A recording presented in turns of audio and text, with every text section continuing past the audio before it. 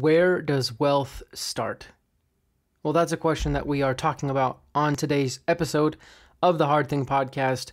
Welcome back again, friends, to this show, the Hard Thing Podcast. I'm your host, Justin Lewis, and I'm here to help you improve your life by facing whatever challenge you're facing in your life right now, and in the process, learn how to conquer any challenge that comes to you or that you choose. Uh, today, we have an awesome guest. His name is Andrew Hallam.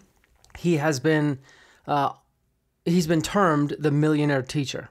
And today we talk a lot about finance and really the mentality of finance and what it takes deep down. We also talk about dealing with medical issues such as cancer and keeping your emotional self steady during hard times like that. Uh, it's a great conversation. Also, Andrew recently wrote a, wrote a book called Balance, uh, which I, in reading it, I really enjoyed it. It has challenged a lot of the ways I think about life in general and money and where I want to be. So I encourage you to think about those things as you listen up to my conversation with Andrew Hallam while we talk about doing hard things and overcoming average. All right. Well, thank you for coming on the show, Andrew. Thank you for coming on the Hard Thing podcast and joining me here and having this conversation with me. That was my pleasure, Justin. Thank you for the invite. Yeah. Uh, let's jump in. Let me ask you the question that I ask every single guest. Andrew, what's the hardest thing you've ever done? Hey, how many guests have like an, an answer right off the bat before I before I get into this? Like this, this is that, it's such a good question. I think yeah. some of the viewers would probably be or the listeners would probably be thinking about that. Like, yeah. hmm, what is the hardest thing I've ever done? Um, does it take sometimes a little bit of time for people to think about that?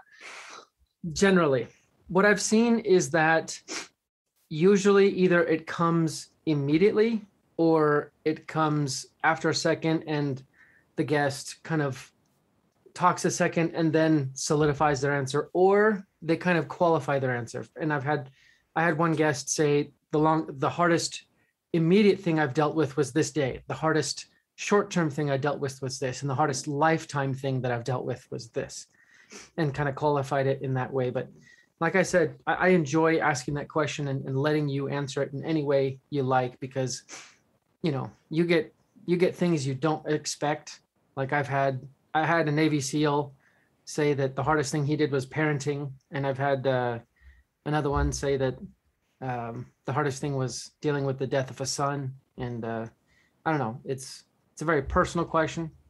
So hopefully, hopefully I don't put you on the spot too much. But yeah. No, not at all. No, that's life, isn't it? It's just for every single one of us is filled with challenges and speed bumps along the way and yeah. things that sometimes derail us completely and take us wipe us right off the path and then the idea of course is is to get back onto that path right um, and i would i would say uh, I would say for me, it was probably getting a cancer diagnosis. Um, so it was kind of uh, I mean, eh, to say it, it hit me out of the blue is one of those things that is almost a cliche with cancer because nobody expects it. And everybody says, well, it's not, it's not ever going to happen to me. So I was physically fit, uh, low stressed. I mean, so I didn't really have any of the lifestyle markers that are associated with it. I don't, I don't smoke, never did smoke. Um, I don't like alcohol, so I never did drink. Uh, I'm fit and I and I, I sleep really well. So I'm sort of a low stress dude. And so the idea that I would get cancer right after winning um, was probably Singapore's biggest running race. So I was living in Singapore and they have a, a race with uh, 15,000 people every year called the JP Morgan Corporate Challenge. And I ended up winning it outright. I was the oldest winner in the race's history. I was 38 years old. And so that was that's pretty old for a relatively short event. It was uh, it was a 5.6 kilometer event. The origin of it was based on a race that was held in, I believe, Central Park in New York, and then J.P. Morgan started to have these same sorts of races, or at least that same distance, all over the world. So all of these different cities would have it. So there'd be one in Los Angeles and Frankfurt and Singapore and just everywhere. And I'd been trying to win it for years and and always done really well, uh, but had never actually crossed the winner's tape until uh, until I was 38. ironically. So won this won this race and then had some routine scans done shortly thereafter, and it was discovered that I had uh, bone cancer in three of my ribs. So I had to have those removed, and the cancer was also coming in towards the vertebral column, and so that was a, a that was that was pretty frightening obviously to go in and and I felt physically fine too, Justin. That was the strange thing. I had no um no side effects, no I had no obviously I had no weakness physically. I mean, I just won this crazy race. And then I'm told, wow, um, we've got to get this out now because if this goes into your spinal area, you're you're done. It's over. Uh, so so I had to have that. So that that was tough. But what was probably even tougher was during the rehabilitation when and I think it really was excessive scar tissue as a result of the surgery. When I went into an MRI and they wanted to have a look to see, they actually were talking about how uh, they wanted to see how how I was healing, and they found a lot of inflammation and figured that that was cancer and it was back. So they called me at work, and you know I got a phone call. I'm teaching a bunch of students. I, I pick up the phone and the uh, the doctor said to me, surgeon said to me, you know, it's it's back and it's really bad. It was only, you know, a handful of months after my my initial diagnosis and then my surgery. So yeah, that was pretty hard, I would say. Um, trying to think, well, I guess this is the end. And the one thing I'm I'm actually quite happy with how I how I responded to it um, because you, you just don't know how you're going to respond to these things. Nobody knows how. Somebody can say to me, you know, Andrew, or ask me, Andrew, how would you respond if you, you know, lost the use of your legs? And I could try to say how I might handle it, but honestly, no one has a clue until they've been through something. You know, whether that is, regardless of what that is or what that challenge is, until we actually face that moment, we don't really know how we're going to respond. But I remember distinctly thinking, uh, and this is the part I was just really blessed and happy with, is that I, I thought, well, I'm 38 and I never lived in a war torn society. I've never experienced hunger. I've had people that love me my my whole life, people who've supported me and people I could support. And life in itself is so darn unpredictable. For me to say why me? or ask that question was kind of i felt kind of arrogant because or unfair because you know it was just a handful of years before when a massive tsunami took out so many villages in thailand and sri lanka and there were just thousands and thousands of people who were killed when children who were killed and you know, you go into an oncologist's office and going in there for treatment or whatever, and you you see children hooked up to chemotherapy, and you're thinking, you know, I have no right to say why me or to ask that question. You know, it's just it's just one of those things. It's just life, and if you can overcome it, uh, and if you're fortunate enough to overcome it, um, I think that's the most important thing and do your best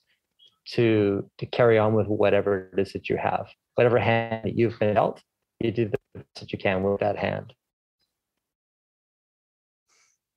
I think the first thing that struck me about your experience was you you didn't say dealing with cancer, you didn't say surviving cancer, what you said a cancer diagnosis. And I think at least from an outside perspective, that more than anything can probably be, I can imagine the fear and the, you know, just this cloud of mist and darkness kind of laying before you in a metaphorical way of just unknown.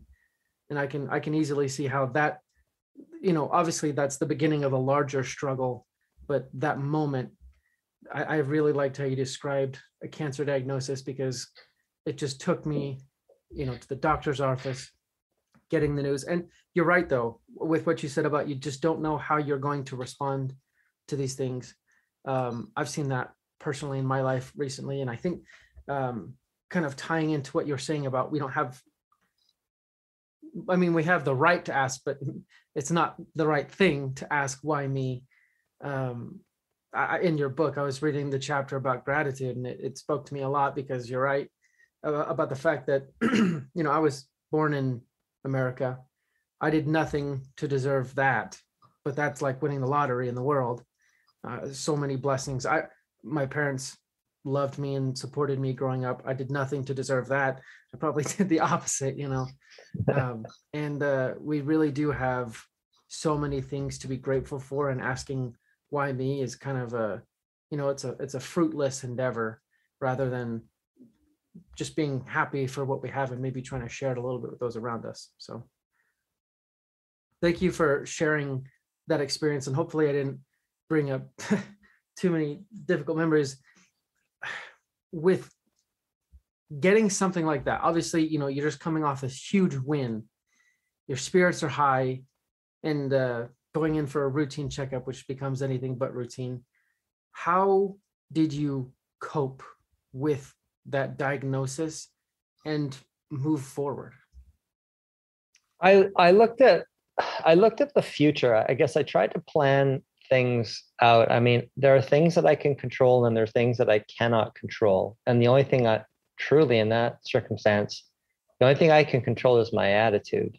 So I recognized that really early on. And so I thought, all right, let's let's actually make plans for things like like a rehabilitation schedule. Like this is what I want to be trying to do at these given points in time. And so I wrote down like a, a literally a, a, physical rehab schedule. When I, when, you know, when they go in with a saw into your spinal area, um, and they were taking out parts of the vertebral column, they don't know whether you're going to walk again. And you know, coming out of a surgery like that is so uh, obviously it's it's debilitating. In the very beginning, you're in a wheelchair and you're trying to walk eventually and just whole process of all right i'm going to i'm going to walk now and i set a goal to walk like 100 yards. And then and i wrote the stuff down. Like i phys- i wrote it down in a in a journal. So i looked at the things that obviously i can't control these things i could control my pers- my perspective um, but i tried to look to the future to actually making physical improvements that I thought I could make. And I think that was one of the one of the things that kept me moving forward. And eventually putting together like you know a, a full rehab program with a physiotherapist, going there and and trying to go beyond that too. And eventually, I, I set a goal to run again. So I was thinking, I was thinking beyond the illness. And I think if you focus so much on the illness itself, that can be something that completely drags you down. So there's like this belief that I'm going to get through this. And so you have to believe that. You have to do what you can to believe that to stay as positive as possible. And there's such a strong mind body connection with positivity as well and healing. And that doesn't mean that you know there aren't completely miserable people who you know end up beating crazy illnesses uh, and, and and on the flip side incredibly positive people who get a, a diagnosis that shouldn't be life threatening but ends up taking them out i'm not to say that doesn't happen but but we do know that a positive outlook it does enhance our abilities to heal i would add also having a positive outlook probably makes things a little bit more fun um, just across the board. Uh, you know, we all have been there on a bad day when we turn on really sad music just to make ourselves even more sad. But um, we we probably remember more or or appreciate more of those days when we put on happy music and we were just happy, even if it was a bad day. You know. Yeah, yeah, I think you're right there for sure. Um, I, think that kind of what you just described, looking past the illness and and obviously having this overarching goal but creating these smaller goals that lead up to it and believing that there is life outside of or after this challenge is is a really good analogy for also dealing with financial matters. You know, I can imagine, I can, I can think of someone in debt, kind of dealing with debt the same way someone might, at least mentally or emotionally, deal with their illness in a way. And, and uh, that's not to say that someone with an illness is overcoming something or whatever. Sometimes you're just surviving, right? But uh, I think that's really fascinating. So I wanted to ask, do you think kind of your your your training in the financial area and your kind of self-discipline and, and, and your perspectives there helped prepare you somewhat to maintain this positive attitude while you were dealing with cancer? I would say that, you know, more than anything, it was probably sports growing up as a kid. And and I think that having and setting physical goals for sports was what helped me both with the cancer and setting the goals there looking forward and with the finances going forward too because it was just a, a natural transition for me. And some people will be really really good at school and they'll be really goal oriented with that. For me especially in high school i wasn't great at school. I wasn't interested in school but i was really into bicycle road racing. And where i lived there weren't a lot there were there were bike racers there. There wasn't a lot of coaching so i had to do a lot of reading I had to read a lot on um, training physiology and put together programs by myself and do a lot of training on my own. Occasionally, I was able to train with other cyclists, but we didn't have a lot of riders, and uh, and I ended up doing quite well and winning winning a lot of races.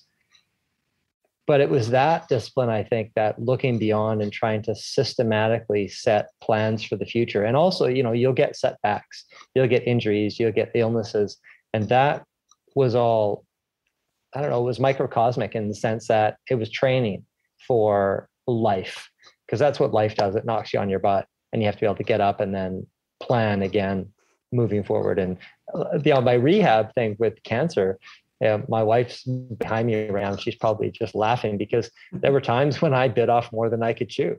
And that's a reality with any goals that people are trying to achieve, whether that's an academic goal or whether that's a financial goal occasionally you know that happens and we get knocked on our butts.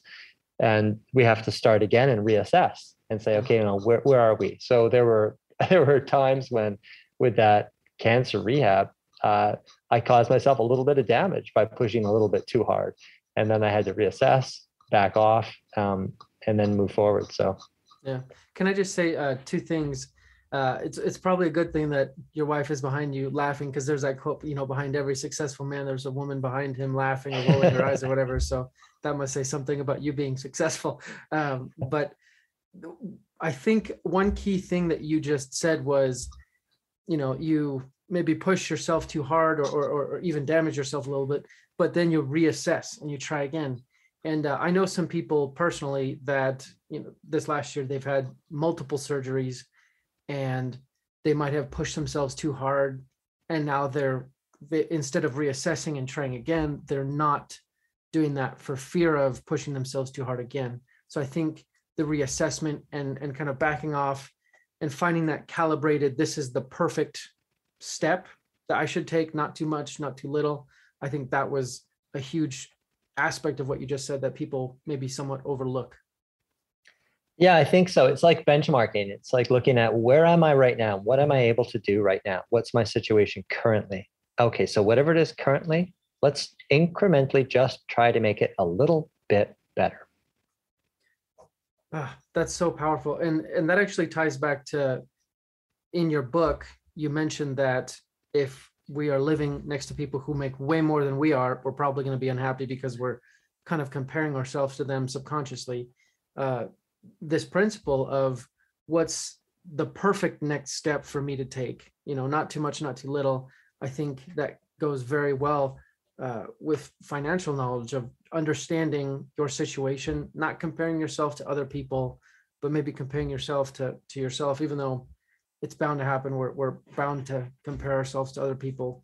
Um, but that was one thing i really liked about your book. And kind of in general at least what i've read so far is that it you'd think that a financial book would start off talking about money, but instead it talks about perspective and values.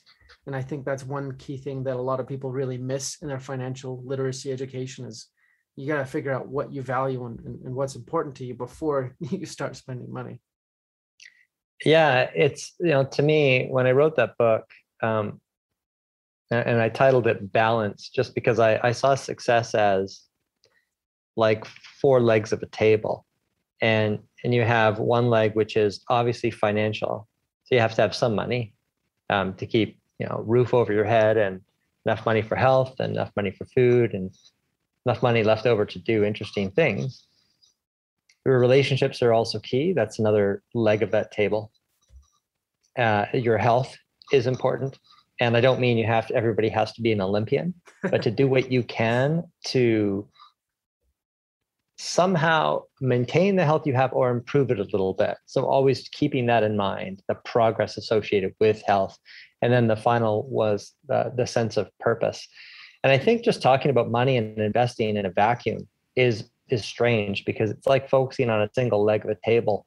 And we do know that when it comes down to life satisfaction, all of the research, all of the research says that number one, the most important component to life satisfaction is your relationships. And sometimes we get so focused on the money aspect that you know people end up working far, far too hard, spending too much time thinking about money we research suggests too we become we become generally a lot less charitable when we're completely focused on our own net worth so although there are people like warren buffett who have billions of dollars who give away billions of dollars every year the research on the the generosity and kindness of people who focus a lot on money is compelling so we do need to have some kind of of balance with respect to to money and then overall life satisfaction. And in the book, I talk about life satisfaction. And I, I ask that question well, why is it that you're doing what you're doing? So, whatever it is that you're doing or purchasing, when I ask a question, why? Why? So, why do you want that really expensive car? Like, what's the purpose of that? And if you keep asking why, inevitably people will say, well, it just makes me feel good. Like, I want it, it'll make me feel good. But the research on that suggests that there's something called hedonic adaptability, whereby when we purchase something, at first we're really excited about it. So it's like a, a short term sugar fix. But then eventually, whatever it is that we're buying, whether it's that new car or the upgraded phone or a fancy purse, it just becomes another car, phone, or purse after a few weeks. So we get used to what we own. And so the idea of us, and what's really important is that we get off the consumption treadmill. And what's difficult is when we see so many people around us who are on that treadmill, and we actually think they're happier as a result. But material acquisitions do not make us happier based on the research. So to me, that's why you know a true holistic view, a true sense of balance financially is really important. one thing I, I, kind of realized as you were talking is that I think we also um, get used to things faster as we go grow older. You know, I remember as a kid, um, I you know, Friday nights with friends, you go to the store and you're planning a movie night, you get all this candy or whatnot, and then you go home and you have this awesome time, and then you try and replicate that as the years go by, and and later and later, and it's just not as fun. So I think um, you can even see that in in somewhat experiences if you're not focusing on like you said building the relationship and, and rather just enjoying things as the experience. I don't know if that works entirely well. Um, with your charitable comment i thought that was rather fascinating especially because in the book you talk about how we and we i guess the giver benefits more from charity when they actually see kind of the fruits of their efforts um, I, I also kind of thought that that might be something hard to kind of do every, or at least maybe with your money all the time. What are some tips you found to maximize your your uh, and uh, this sounds super shallow, but your your charitable giving, not necessarily in a, a financial way, but just kind of all around. I think the like the the social the pro social element has to be there for me. So I I mean, we'll back up and talk about what the research suggests. The research suggests that those that give to charity do end up feeling better about themselves, and they actually end up, as a result, and it, affects us on a on a physiological cellular level too. When we do studies on the physiology and take blood tests and such and check people's blood pressures um, after they've given, after they've donated, they end up more physically robust as a result. It's almost like we're truly meant to be generous. We're meant to share. It's like it's it's part of of what we are. And the the part that uh, what the research suggests on pro-social giving being the most powerful, where you're actually connected. That, Justin, for me is where I notice it, where I'm far more apt to give when I can actually see the results via the recipient. So if I can actually see, you know, who it is I've helped or I've I've connected with them in some way, rather than you know, and I don't think it's bad to just give to the United Way at all, but it just becomes a a check or a money transfer, and you don't end up actually seeing the result of, of what it is you're doing. But when you can see that result, I think it's I think it's pretty cool. So uh, there have been some circumstances where I've I've helped some people, and it's an incredible feeling knowing and seeing what you've built. Um, even when you know there was a an organization in Cambodia that I became involved in, we were donating money and we were building houses for people, and it was it was a really cool thing because we were it wasn't just charity. The woman that was organizing it would go into a village and she'd want to see who are the people who are one struggling and two really respected as hardworking good people so she would ask questions in the village she would say who's who's having a tough time and who's just really hardworking and really good person and all of these people were poor and so nobody went well me me i need the money they they pointed to different people but there were some common denominators there. There were a lot of the same people that people are going, yeah, Joe over there. Joe's had a really tough, tough time. He lost his leg to a landmine. He lost his wife and he's raising three kids by himself. And he's a great guy and he works super hard.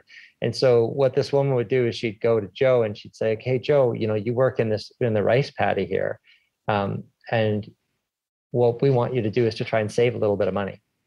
And there was a process there where Joe didn't really understand anything about like the whole concept of saving. But she'd say, I want you to save money and I want you to be able to buy your own pig. And we're going to come back in a couple of months. And so they'd come back in a couple of months. And if Joe had his pig, they'd say, okay, Joe, now what we want you to do is we want you to save up a little bit of money for this. So there would be these little steps along the way. And eventually they'd say to him, like, you, you complete these steps, which are empowering because our person, Joe, is going to feel awesome about actually achieving something and not just receiving something free. But at the end, the idea is that we build Joe a house, and house is really relative. Like these are people that have to they have to fix their house after every monsoon season because you know they've got literally mud shacks, and so you know, we ended up having these like garden sheds on stilts is really what you might want to call them. But these people love them. This guy like Joe is just absolutely thrilled to bits. So when I was when I was you know donating money to that, we were actually going to Cambodia and we would see and help with the building of these houses. It was super powerful. And what it did though, Justin, is it kind of extended where I knew what was happening with that organization. I loved what was happening with that organization. And later, when they started raising funds to build wells, and I knew that $120 or $150 would build a well that would service three families in that region of Cambodia. And I knew the region, I'd been there, I'd seen the people, I'd worked with the people. I was really, really happy to send those checks. And I knew where that money directly was going because I had actually been there. I'd seen those families. And I knew that there were all kinds of waterborne illnesses that people were getting from kids were getting. Kids were getting sick just from really crappy water. And with a for 150 bucks, you could you could drill a well that would service three families. That was awesome to me. Um, and there was one year where I just uh, I was I was working and my boss said to me, "Can you take on this extra?" I was I was teaching. Can you take on this extra class? And I was already working full time, and and it was a tough job as it was, and I had to take on another another twenty percent, and I could have said no, but what was inspiring to me wasn't so much the money, but it was figuring out that if I gave all of that money to build wells in Cambodia, if I gave every penny of that extra money to build wells, and I knew that when I was going in and I was tired, I knew where that money was going, that would lift my spirits, get me through the day. And honestly, it was the best, it was the best thing. It was the best feeling. So I've been excited to give like, you know, financial seminars as well, where I've taken the proceeds of the monies that would be coming towards me and just directed them, said, don't pay me. Um, we started a foundation with some friends in Cambodia called Cambodia's Future Foundation, where we paid for some education. We paid for, we selected a bunch of kids who were about 15 years old, and we ended up encouraging them to achieve small goals along the way again. So it was this process of empowering them. And then we paid for them to have uh, college educations in Cambodia. And so, you know, it was cool to be giving, I'd give a financial seminar and say, okay, don't pay me, but I want you to direct the money to uh, Cambodia's Future Foundation. Stuff like that, that you're actually connected with, is powerful. We went to Cambodia and we chose those kids, and we walked into those schools and we put kids through a series of of tests, intellectual tests. We had some um, Cambodians who actually helped us with that, uh, and then we asked the kids about um, about character. We asked the kids in the school, "Who do you trust?" like you know write down the names of the kids you trust. Who would you you go to if you had a problem? Who would be helpful to you? Who's got tons of integrity? And so we tried to look at the commonalities between the kids who were working hard doing pretty well in school. Um, obviously they were poor. This was a re- really extremely poor region. And someone that had integrity that other kids liked and respected. So you know get, giving money to those entities to those people in that capacity, Justin, was for me personally so much better than just writing a check to an organization or sending money to an organization. I, I don't personally get, I wish I got a lot out of that, but I actually don't. uh, I think when I was reading your book, I didn't completely understand the concept as well as when you just explained it now. The goal in you know giving in a charitable way whether that's through actions financial means or otherwise um, obviously it, it is to help other people but it's also to build that connection with other people or or with meaning. So i think maybe a key if, for anyone listening out there if you give to a, a charitable organization and you don't necessarily feel the impact go and understand the impact go and connect with the processes and the people who are suffering that you are helping and, and kind of get to know them. And i think that might be a very good way of validating maybe what you're doing or, or, or helping you remember the purpose for why you started giving that money charitably in the first place. Um, that's just my hypothesis maybe. Um, i kind of want to switch topics.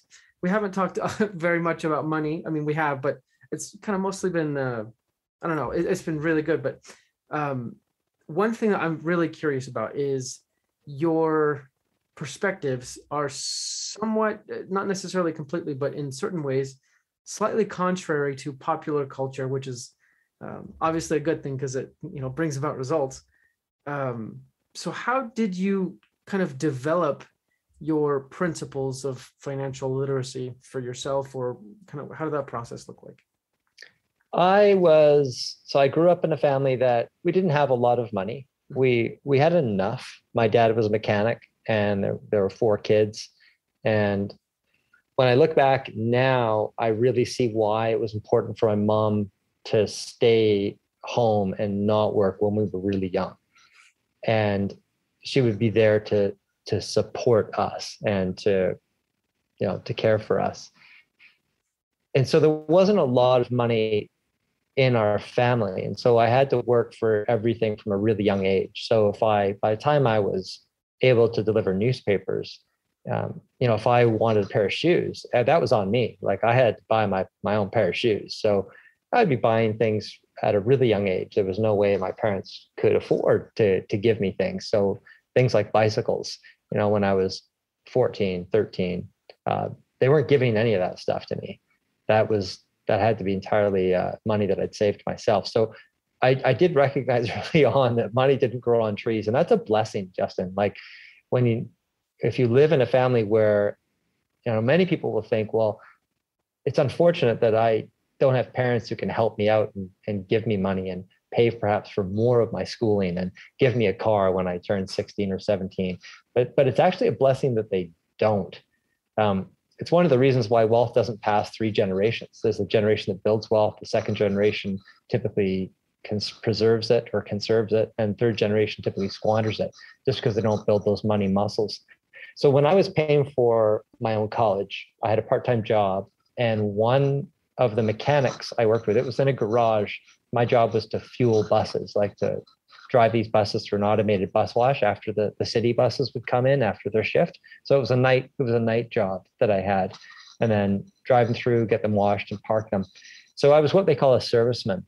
And this was my summer job and we worked in conjunction with some of the mechanics there so if there was an issue we'd take you know a bus into the garage and over the pit and the mechanics were sort of people that would be telling us what to do and one day one of the mechanics told me hey there's this mechanic over there that guy over there his name is russ.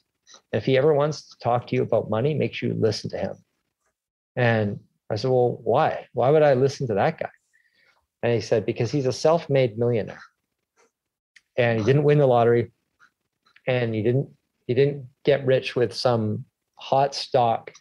That guy's just got some solid systematic methods that he's applied for a really long time and yeah he's a self millionaire and so what you know eventually that guy russ started to chat with me and he asked me what I would do if he gave me ten thousand dollars, and I thought he was going to give me money. I'm like, oh my gosh, the millionaire's about to give me money, and I said, well, I, I guess I'd put it towards my student. I put towards my studies. Um, and he told me about a year later that if I said that I was going to buy a new stereo or I'd, I'd take some trip with that money, he said that he probably wouldn't talk to me again unless he had to. So he wanted to see how receptive I would be towards receiving some kind of financial education. And he started to give me financial education bit by bit over that summer, teaching me about the merits of compound interest, um, teaching me how new cars depreciate so rapidly, and that unless I'm rich, I should never buy a new car. He said, unless you're rich, you should never buy a new car. Financially, it doesn't make any, it doesn't make financial sense.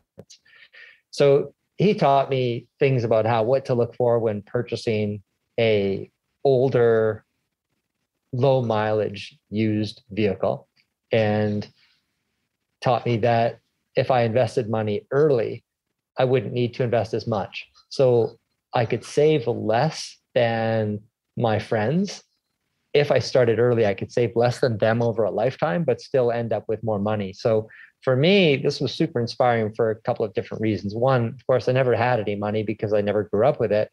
And the idea that I could get money working for me so I didn't have to work as hard for money was super inspiring because there was a part of me that was pretty lazy. Like, oh, I don't want to be working forever for money. so yes, that that that was the the backstory in a nutshell. Man, I find that story so fascinating. Again, um, my listeners have heard this time and time again, but I think it bears repeating. The the most commonality, the co- most commonality between all of the people I talk to who do hard things successfully is that they have what I like to call a good sponsor network, either a strong team around them that really cares about them, friends, family, whatever, or there is a mentor at a crucial moment giving a hand down and then kind of you know that relationship benefiting you. And in this case you know it it, it feels like uh, morpheus on the matrix you know or obi-wan kenobi you know reaching out and finding the hero and being like hey here's an opportunity and you took it which is uh, you could write a book about that just that story alone which i think is so cool. Um, not everyone has experiences like that. Some of us are, you know, in our 20, 20s, about to turn 28 and are still trying to grow our money muscles, not naming any names or anything. But um, if you, if you could give just a few pieces of advice, obviously read your book because that's a great place to start. Um, but just a few pieces of advice to say, hey, this is how you start going to the money gym, start working out your money muscles. And maybe you're not gonna gonna become an Olympian, but here's how you start getting your financial health on track. I'll, I'll give you the advice that something that I've been doing for years, and I think it's the most important element to to building wealth. And no one does it. Like virtually no one does it. Maybe like I'm gonna guess probably one in a hundred people do this. And it's track everything you spend with an app every everything you make and everything you spend. So if you have it's really easy. I used to do it with um, like a little booklet. So before the tech phase you know piece of paper and a, book, a little booklet for the year and i would write down exactly what i spent every day and exactly what i would earn. And now it's so much easier because you can use an app for your phone download it. You can categorize it so you can see what you're spending. And what ends up happening is you become accountable for what it is that you're spending money on. And you end up seeing where you might be wasting money on things that don't actually give you value things that don't give you a lot of satisfaction and you're looking at them going am i really spending that much money on blank every month or every year? And so it's super important. A lot of people will say well, i don't need to do that because my visa calculates everything. That is not the same thing. That is not the same thing. If i go to a store and i buy a chocolate bar I will enter it immediately in my app and I categorize it under treats. So I, I physically enter it and it takes like 10 seconds, not even. But immediately that chocolate bar is now categorized. At the end of the month, I can see all of those categories. And what will happen, Justin? It happens on a on a, well, a conscious level, is that when we go to purchase something, knowing that we are consistently writing them down or documenting these things, it makes us fully accountable and makes us realize wait a second here. Hmm. Maybe i'm not going to go out for dinner again um, tonight because i can see how much i've spent so far on dinners this month and it's a little much so i'm going to abstain from that. If you're not documenting your expenses um, you're not running an efficient ship no matter what and, and I don't care what anyone says, you're just not. Like a business has to do that. Like a business will know where all of its where all of its expenses are. They calculate their income, they calculate their expenses, but almost no people do. And so it's one of those things that I think, you know, we really ought to be taught that in school. Like we need to track our income and our expenses. Um, Weight Watchers did an interesting study to see what variable allowed people to lose weight most effectively. You know, was it exercise and was it diet? The single greatest variable was actually tracking what they ate. Because by tracking it, it builds in a level of accountability, much like the spending does.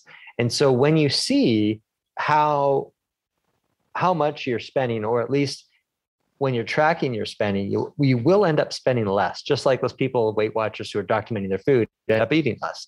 And so in doing that, you can see how much it actually really does cost you to live and you can figure out well what is it that i'm actually earning? And how much of it now can i end up putting away to save for my future? And you can have that money come out like a tax. So that money could go into an ira immediately or it could go towards you could set up an automatic like more aggressive automatic deposit into a debt reduction plan. Something like that which helps you financially move forward. But yeah tracking the expenses is definitely the most important first step Wow.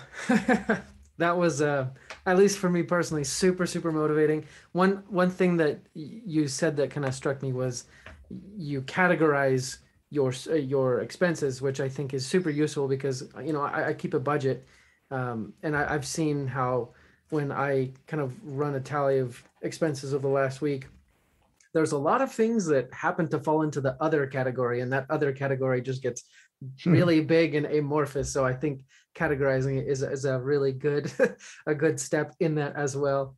Um, you want to say something?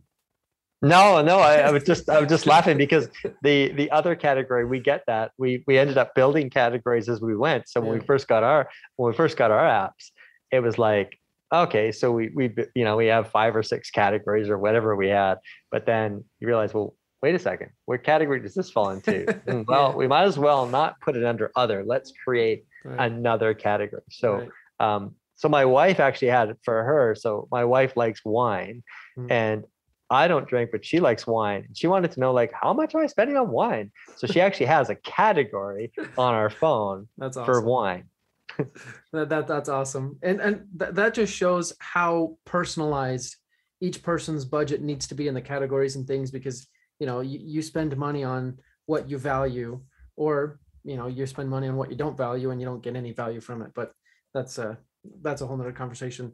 Andrew I, I i'm afraid we've come down to the end of our time together. Uh, this was such a great conversation. Uh, we could probably talk for a whole lot longer but i don't want to take up too much of your night. Um, before we let you go we need to know how can our audience reach out to you see what you're up to and engage with you? Well, my website at andrewhallam.com. That's where I post my articles that I write. And there's a on Millionaire Teacher. They could find me. Uh, sorry, they could find me also on Facebook at Millionaire Teacher. So I've got a Facebook group there. So if you're interested in joining that, you can ask me questions there, uh, tag me in, and I'll do my best to respond. And yeah, I think that would be uh, that would be about it. Perfect. Um, and then we also need to give our audience some action items. Uh, here's the list I came up with based on what we talked about in our conversation. Number one, focus on controlling your attitude. Number two, give more charity in order to build connections. well, Sorry, connection with people, uh, multiple people. Uh, and number three, create and achieve stepping stone goals. I noticed that you talked about creating small goals, reaching those small goals, and then creating more. And then number four is track everything you make and everything you spend. Would you like to add to that list at all? That's a really good list. I, I just wanted to mention too that on my website at andrewhallam.com, I have a I have a, a, a sign up for anyone that purchases or pre-orders my book Balance, which actually comes out January 18th. But anybody pre-orders that before January 18th, um, if they email us a receipt, and there's there are steps along the way to show what you know what email address. But if they could take a screenshot, email us, a receipt, uh, they'll be invited to an exclusive session where I'll be talking about the the ten uh, the ten most important tips to success that I've experienced in in my life, and sharing some anecdotal stories and blending them with the behavioral based evidence. Excellent. I will get that up on the show notes. Um, make sure, audience, you do reach out and engage. Uh, but yeah, thank you so much, Andrew, for being here on the show. Uh, I really appreciate it, and uh, I I appreciate you sharing your experiences and and teaching me personally, and, and definitely our audience as well. So my pleasure, my pleasure, Justin. It was a pleasure to be on your show. Thank you very much. Thank you guys for listening to today's episode. Let me ask you one quick question. Do you like listening to the Hard Thing podcast? If you said yes, uh, I would ask, is there anything you're willing to do to support our mission? If your answer is yes, then a simple thing that you can do is just leave a rating and review wherever you listen to podcasts or share the show with someone you know. That goes tremendously far. Uh, I know I ask for this a lot, but I, I seriously appreciate all the help you give in that area. Uh, next, again, as always, I'd like to encourage you guys to go over to ourrescue.org and get involved with my favorite nonprofit organization, Operation Underground Railroad. They go undercover to rescue kids from sex trafficking, which is dangerous, but also saintly work. And the biggest thing they need right now is just more awareness. So go to ourrescue.org, just spend a few minutes reading about what they do, and that will go even farther than leaving me a review. Uh, again, if you guys love the show, go to thehardthingpodcast.com and get some merchandise. We have shirts, hoodies, hats, uh, phone cases, backpacks, all sorts of things. And rep the brand everywhere. Uh, thank you guys so much. And uh, I hope you guys have an excellent week. We'll be back on Monday for our next amazing show. Until then, keep doing hard things because you will overcome average.